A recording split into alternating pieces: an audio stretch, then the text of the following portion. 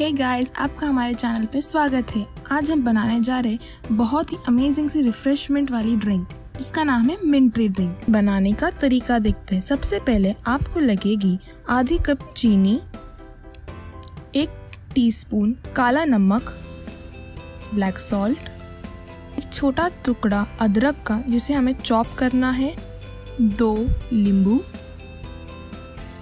एक कप पुदीने की पत्तियाँ और वन फोर्थ कप लेमन और मिंट सिरप नींबू या पुदीना का सिरप ये बिल्कुल ऑप्शनल है। चाहे आप नहीं डालें तो भी चलेगा बट इसकी जगह पे आप थोड़ा पुदीना और नींबू ज़्यादा ऐड कर लेना।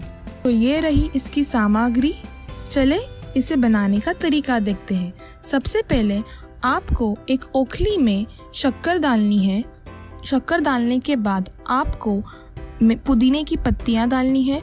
उसके बाद आपको लेमन जूस डालना है नींबू का रस। ध्यान रखें, आप इसमें बीज ना डालें। अच्छे से हमें नींबू का रस चाहिए।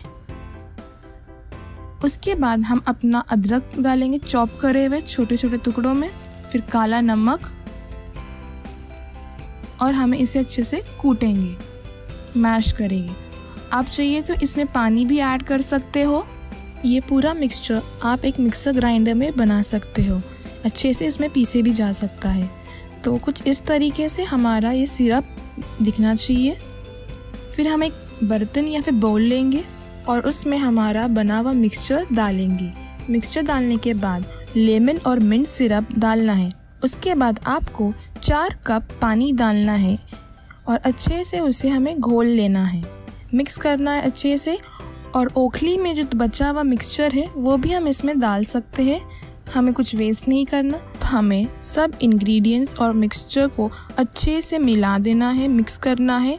हर इंग्रेडिएंट अच्छे से घुल मिल जाना चाहिए तो ही इसका टेस्ट अच्छा आएगा। ध्यान दें, आपकी चीनी पूरी तरह से पिघली हुई हो तो ही इसका टेस्ट अच्छा आएगा। अच्छे से मिक्स करने के बाद आप इसे फ्रिज में कुछ समय के लिए ठंडा होने रख सकते हैं। या फिर आप एक ग्लास में बर्फ़ डालें, जैसे कि मैं यहाँ पे डाल रही हूँ, और ये जूस को उसमें डालें। ये जूस बहुत ही टेस्टी और बहुत ही मज़ेदार है। गर्मियों में तो इसका मज़ा ही कुछ और होता है। तो लीजिए, हमारा बन के तैयार है मिंटी ड्रिंक। बनाइए और हमें ज़रूर बताइएगा आपको कैसा लगा। Thank you do follow share and subscribe to our channel bye